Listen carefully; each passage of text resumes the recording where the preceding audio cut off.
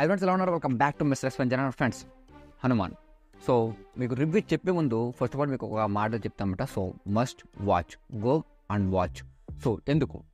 Reasons ఏంటి?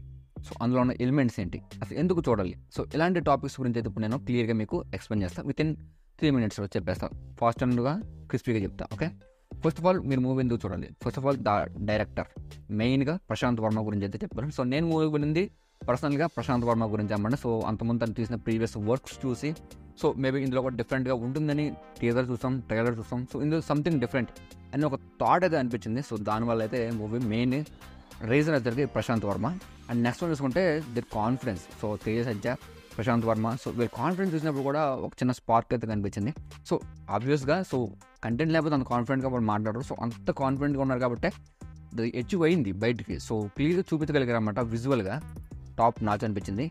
And third one చూసుకుంటే the story. మెయిన్గా అంటే ప్రశాంత్ వర్మ సినిమాటిక్ యూనివర్స్కి ముందు ఈ స్టోరీ కాబట్టి అంటే ఓవరాల్గా యూనివర్స్ మొత్తం అంతా ఉంటుంది. స్టార్టింగ్ ఇదే కాబట్టి ఇది ఒక ఆర్జినల్ స్టోరీ టైప్లో. ఓన్లీ మన హనుమాన్కి సంబంధించి కాబట్టి స్టోరీ వైజ్గా వస్తే సింపుల్గా స్టోరీలు అని చెప్తా. మొత్తం కాదు సింపుల్గా. ఓకే? సో ఒక ఆర్డినరీ హనుమంతుని ఒక క్యారెక్టరైజేషన్ అయితే ఉంటుందన్నమాట. ఒక క్యారెక్టర్ ఉంటాడు. సో తను ఒక వీక్ చాలా వీక్గా ఉంటాడు. సో ఏ పని చేత కాదు.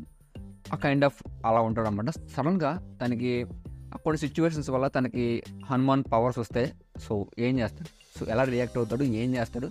సో విలన్కి ఎవరు? సో విలన్కి మనవాడికి ఉన్న రిలేషన్ అసలు ఏంటి? మొత్తం ఎందుకు తను ఆపోజిట్గా వెళ్ళాల్సి వచ్చింది? సో మొత్తం అన్ని ప్లాట్ వైజ్గా మొత్తం మీకు ఆల్రెడీ చేస్తుంది మూవీ సంబంధించి చూస్తే.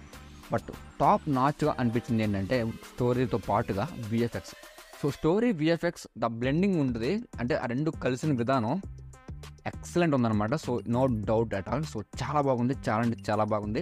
అంటే మరి హెవీ విఎఫ్ఎక్స్ అండ్ అలా ఉండదు మరి బాగున్నట్టు ఉండదు మరి తక్కువ విఎఫ్ఎక్స్ ఉండదు. ఎంతవరకు విఎఫ్ఎక్స్ ఉండాలో అంతవరకు విఎఫ్ఎక్స్ యూజ్ చేశారు. చాలా బాగా వచ్చింది.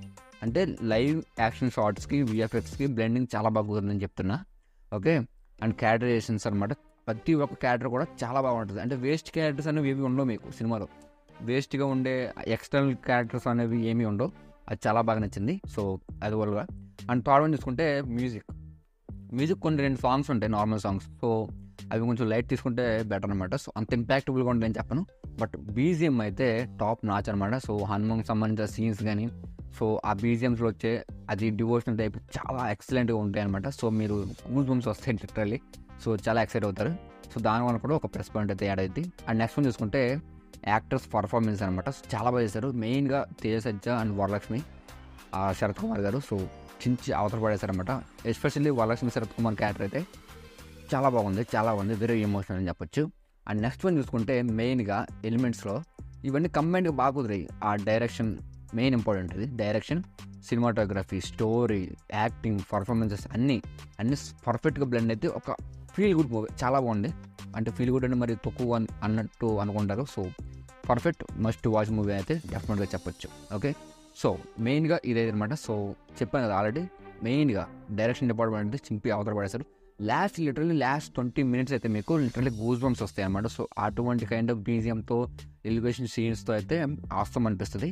సో మస్ట్ వాచ్గా చూడండి ఎంజాయ్ చేయండి థియేటర్లో ఓకేనా సో దీనికి రేటింగ్ పరంగా చూస్తే డెఫినెట్లీ త్రీ పాయింట్ ఫైవ్ అయితే మస్ట్ అండ్ షూట్గా ఇవ్వచ్చు సో అలాంటి కంటెంట్ ఉన్న movie. So maybe Sankranti winner అయ్యే ఛాన్స్ కూడా దీనికి ఉంది. కానీ మిగతా ఇంకా టూ మూవీస్ ఉన్నాయి కదా వాటి తర్వాత డిసైడ్ చేద్దాం. ఓకేనా సో ఎవరైనా ఎలా ఉంటే పంపించవండి లైవ్ బాగా